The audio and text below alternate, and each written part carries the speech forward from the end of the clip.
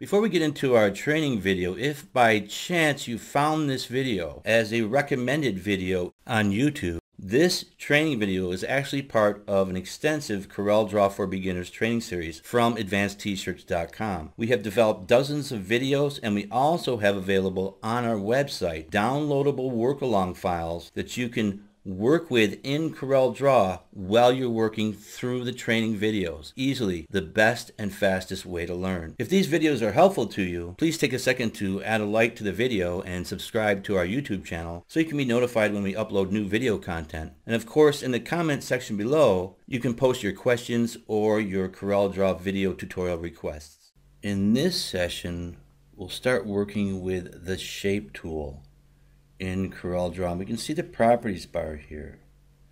The shape tool is used to make adjustments or to adjust vector shapes, the lines and nodes of curved vector objects, and to make adjustments to text objects in CorelDRAW. It's one of the most important tools in CorelDRAW, and we're going to cover it in pretty good detail, but I'm not going to go really in depth with it. The shape tool is in the toolbox over here beneath the pick tool. You can select that and you will have the shape tool. Now the property bar will not change until you select an object. If I select this line with an arrow end on it, now the property bar will change to the shape tool. I don't really have anything selected in this line segment, so there's not much I can do up there. Let's scroll down and take a look at some of the functionality of the shape tool.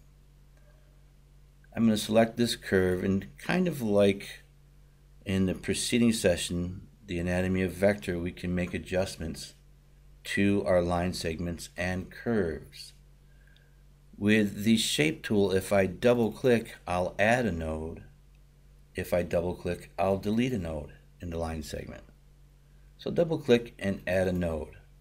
Now up here in the property bar, I can change the property or the mode of the node.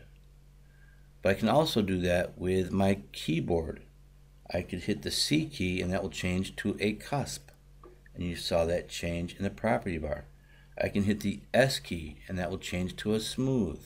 If I hit the S key again, it will change to symmetrical. If I go back to C, it'll go back to a curve. I can also select a line segment that's in the curve state and change that to or convert to line.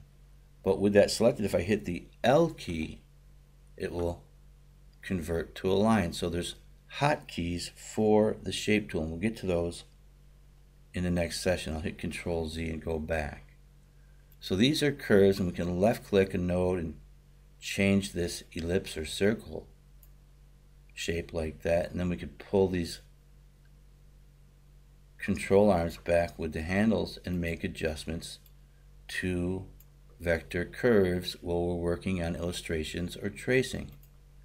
And the same thing here. If I wanted to make this look like a tear shape, I could bring this out here this way, hit the C key, change that to a cusp, take the control handle from the control arm, pull it in that way, pull that in this way. This I might want to double click and delete. Now I've got a tear shape there inside of that circle. So that's just the fundamentals of how we work with the shape tool on curves. Now these are vector shapes. And this is a rectangle and it has rounded corners. The nodes here with the shape tool, I can left click hold down, take that back to a full rectangle or adjust the rounded corners even more. As you can see there. Now here is an ellipse set up as a pie. Left click, select the node. I can bring that back to a full ellipse. Now it's in the arc mode. I want to bring that right to there. Now it's back to a normal ellipse or circle. But if I left click and hold down and drag that out, now I'm in the arc state.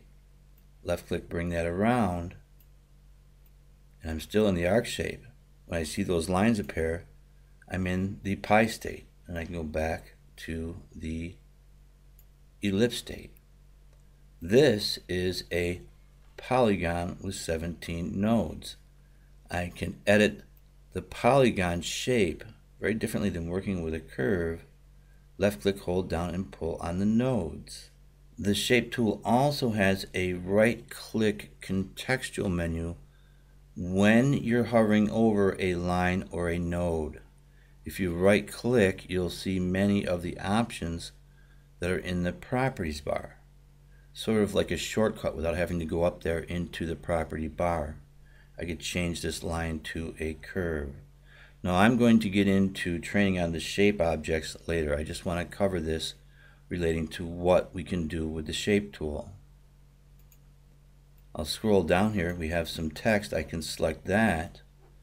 Now here I get character nodes. I can left click, hold down, and move characters with their character nodes from the shape tool. I'll hit Control Z.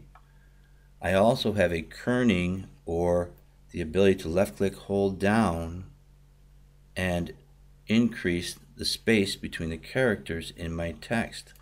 There's also a line spacing handle here from the shape tool left click, hold down, and I can adjust the line spacing between those two lines of artistic text. It's the same with the paragraph text.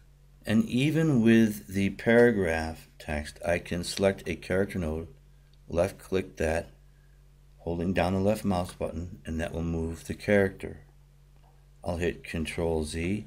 I can also adjust the kerning or the spacing between characters, left click, hold down pull that to the right, pull it in to the left.